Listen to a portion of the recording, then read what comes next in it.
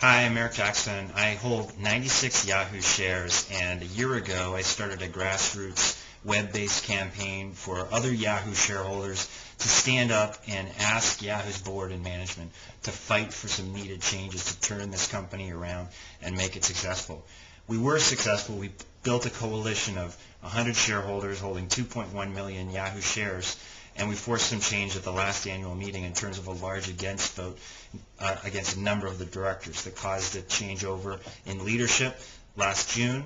And we've been sitting and watching and hoping that this company would put it together uh, in the eight months since then.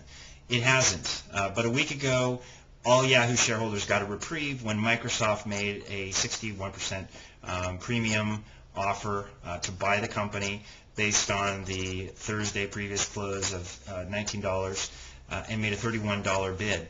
Uh, I found out yesterday that Yahoo's board has deliberated and is planning on tomorrow rejecting this offer, saying that it massively undervalues the company and uh, intimating that they wouldn't accept anything less than $40 a share.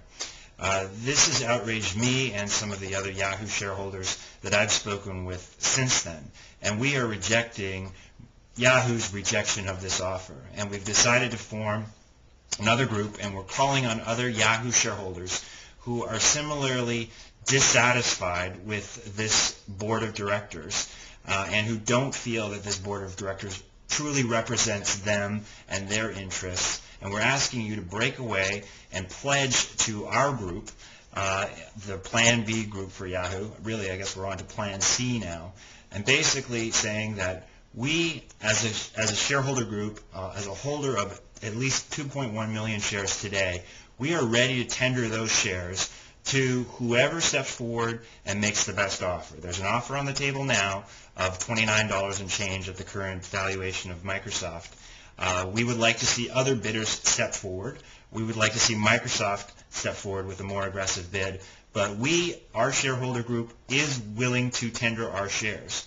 We also believe that Yahoo's board doesn't have the moral authority to speak for us. And if you feel the same, we're asking you to, to pledge your shares similarly to our group. Uh, go to the blog breakoutperformance.blogspot.com. Uh, you'll see a button on the top right where you can uh, very easily click on that, pledge, you know, say who you are, say how many shares you own. No share count is too small. Uh, we're calling on all individual shareholders, all institutional shareholders to stand up and say, Yahoo's board, you don't speak for us. Uh, several of the directors, including the current chairman, got it at 36% of the vote cast against them last year. We think we can represent our own interests uh, better ourselves, and we were ha- are happy to break away from the pack. Uh, if you feel the same, we'd love you to join us. We think there's a better way.